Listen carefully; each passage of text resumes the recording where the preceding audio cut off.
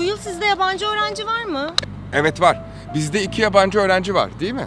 Hayır bu sene üç tane var. Martin, Clara bir de Faruk var. Faruk Türk değil mi? Hayır Faruk İranlı. Peki Martin nereli?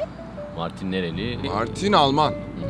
Martin şu çok uzun boylu kilolu bir çocuk var ama. Evet Martin çok iri. Bir de Clara var.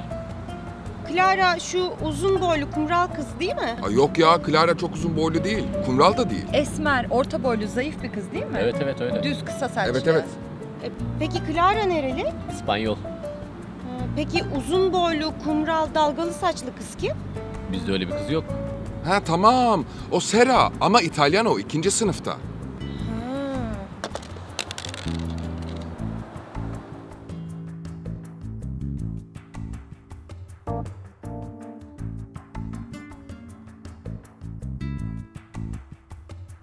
Ha.